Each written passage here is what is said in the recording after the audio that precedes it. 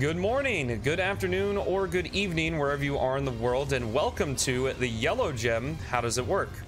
So, in order to find the Yellow Gem at uh, in Crisis City Section Two, right after the first checkpoint, um, you basically just progress through the stage kind of as normal, doing the light dash, grinding on the rails, heading all the way over to the part where the springs launch you into the big building section where you collect a bunch of rings. But instead of taking the springs, you jump down behind the wall that they're attached to, and there's a little ledge, and on that ledge is the yellow gem. So, what the yellow gem does is it grants Sonic instant access to the lightning shield. Now, unlike Sonic the Hedgehog 3 and Knuckles or Sonic Mania, the lightning shield does not grant you access to a double jump. I personally like this because it would be redundant with the purple gem, since the purple gem grants you a double jump anyway.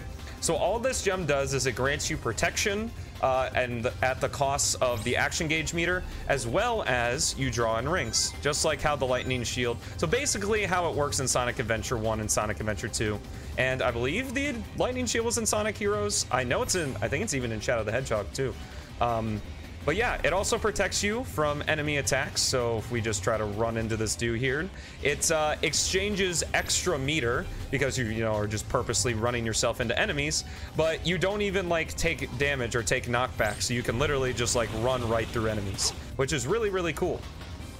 Now I am going to be using a uh, a debug mod to uh, level up the gem here just for demonstration purposes. Normally you have to defeat enemies in order to level up the gem, but at level 2 all it does is it increases the efficiency, so as you can see as the gem is active the drain is a lot slower, and I'm not entirely sure but I believe it also increases the resistance against enemies so you can take more hits by just like running into these guys than you could at level 1 at level 3, this just enhances the decrease, so as you can see, it's decreasing really slowly now, and when we bash our head into enemies, we can take way, way, way more hits.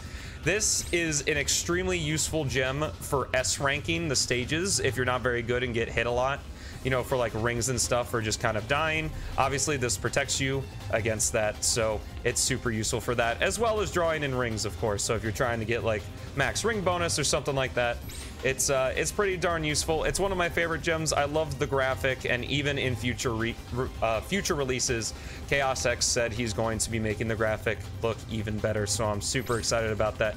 I hope you guys are too. So that's how the yellow gem works. Thank you for watching. I hope you enjoyed. Have a great rest of your day, and I'll see you in the next one. As uh, Sonic floats above the uh, the terrain here, kind of funny. To the yellow gem, how does it work? So in order to find the yellow gem, this isn't terrible, Sonic.